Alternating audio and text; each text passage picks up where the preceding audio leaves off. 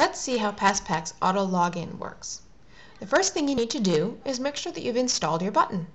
To do that, you simply go to Auto Login menu, install your button, and drag it up into the bar. Now I'm using Firefox. If you're using Explorer, Safari, Opera, or Chrome or a different browser, you may have some different instructions to get that installed. You can check that out on our knowledge base, help.passpack.com. Let's get back to our demo. Now let's say I want to log into my Gmail account. Here it is. I'm going to press the Go button. PassPack takes me to the login screen. Then I press my PassPack It button and it logs me in. Now that's fast and quick and easy, but as you can tell, we went through the PassPack website to get that done. I'm going to sign out here. Now let's say I wanted to be navigating around the internet and just use my PassPack It button without having to go to the PassPack website. That's okay. All I need to do is make sure that I'm logged into PassPack in the morning and I keep it open in the background. I press this button here which is turn on one-click login and you see here it tells me one-click login is turned on.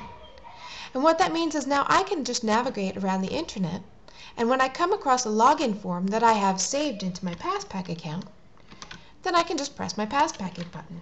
Let's say I'm on Facebook.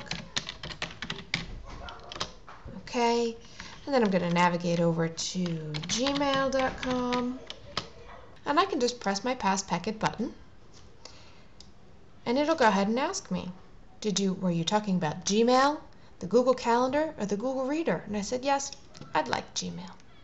And it just logs me in. Okay? Now I know what you're thinking, because I thought the same thing. I would just like to log into PassPack and have PassPack take care of everything for me. I don't want to have to remember to turn one-click login on or off. You can do that in the settings. Go to your settings and go to Startup Options.